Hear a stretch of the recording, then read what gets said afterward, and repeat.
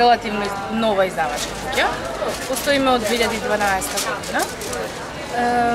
Идејата за Полица се произлезе од проектите кои ги работеше Конгресен сервисен центар, издавачките проекти, што ги што кои беа распишани од владата и откако имавме увид нели и откако станавме дел од, од таа издавачка програма видовме дека би било интересно да продолжиме и понатаму значи издавачка куќа без оглед на проектите што значи на проекти што што добивавме од страна.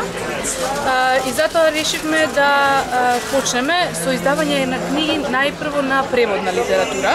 Значи тоа беа почетоците на полицајска издавачка куќа издававме преводна литература. Меѓу таа преводна литература особено сме горди на класиците што ги издадовме, како например многу класици од римскиот и од грчкиот период, значи многу драми, потоа многу дела на римските класици.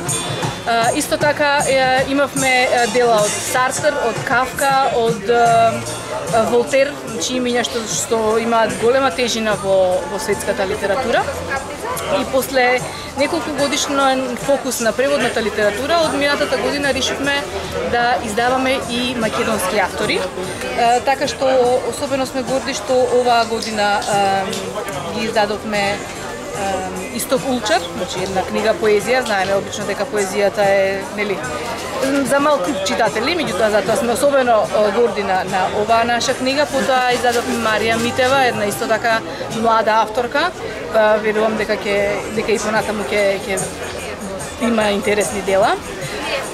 Издадовме книга на Лилјана Дирјан, значи нешто што е видивче на вчерашната промоција на таа книга го наведоа како незин епитаф, со оглед на тоа нели дека таа почина пред години. Потоа тука се избор драми на Горан Стефановски и се надеваме дека дека ќе продолжиме во во таа насока, дека ќе продолжиме да даваме поддршка на македонските автори покрај нели секако издавањето на квалитетни преводи.